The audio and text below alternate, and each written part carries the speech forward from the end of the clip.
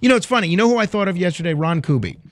Because Ron used to compare the way that Curtis would spread out all of his things to Israel. And, um, you know, th- they shared an office for a time when I was their producer. And Curtis basically took over the whole office with his stuff, with newspapers and cans and papers and just all sorts of stuff. And then Ron would come in and say, Where am I supposed to sit? Where am I supposed to work? Now, meanwhile, I think that was kind of the goal of what Curtis was trying to do. But he says, I come in here and Curtis becomes effing Israel, spreading out all over the place. There's a settlement here, an outpost there of putting all his stuff here. He, he, he doesn't recognize any border, he just keeps encroaching.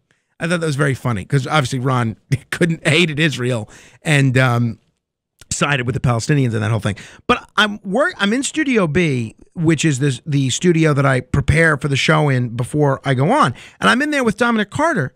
The whole studio is overrun with Curtis's stuff, and I, I turned to Dominic. I said, "Who else would do this? Who? What other human being would disrespect his coworkers like this and just leave this kind of a mess?" And he, Dominic's shaking his head. He says, "I've never seen anything like this."